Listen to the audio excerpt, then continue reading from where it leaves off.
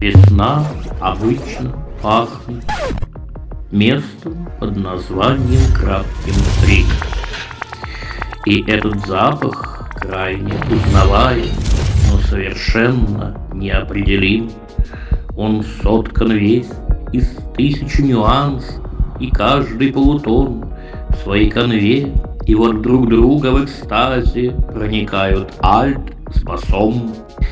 То пахнет небо синее над Римом, который мир и больше мира нет.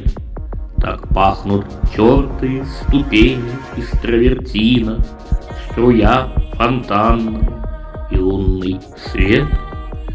Поэтому весной, где б я не оказался, Душою с Римом в Риме навсегда, А мысли черные, что у виска кружатся, Уходят в водосток, как талая вода.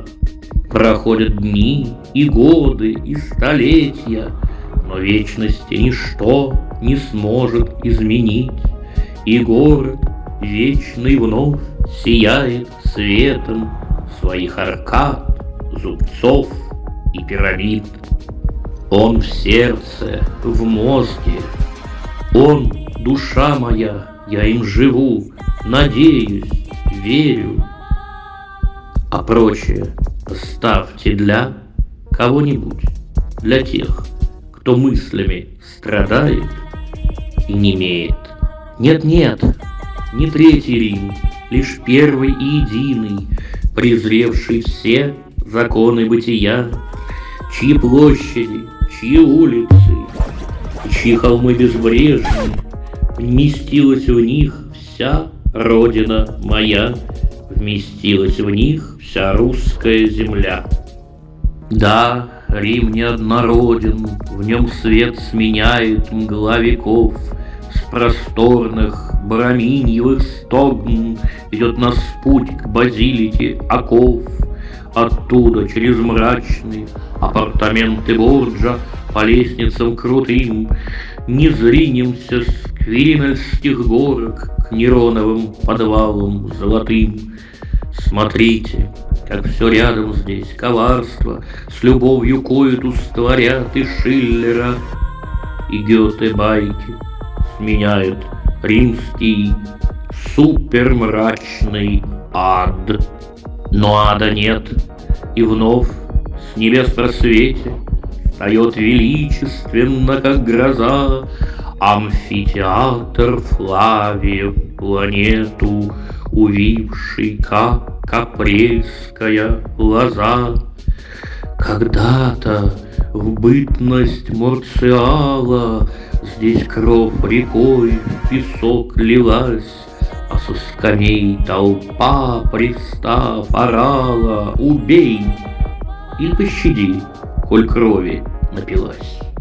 Здесь ранних христианских мучеников тигры живьем сжирали с потрохами, а после золотые колесницы кружились солнечно под Рима небесами. Историю не жнут, не сеют, не квасят, не пишут даже, просто ей живут. Власть отвратительна, как руки бродобрея, как иго, как сжимающий хомут.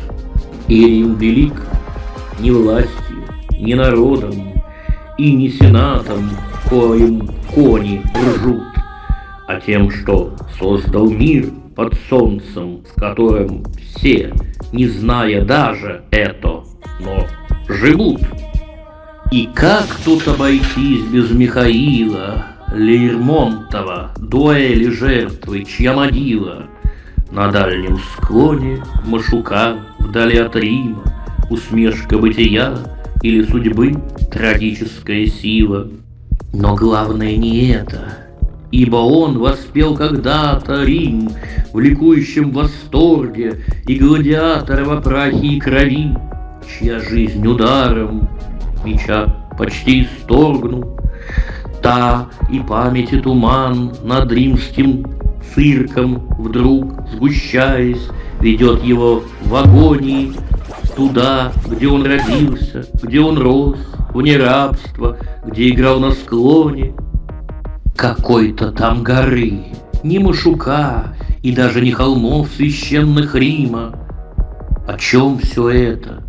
Да о том, что ветрено и мнимо. Все то, где Рима нет, а жив лишь только Рим.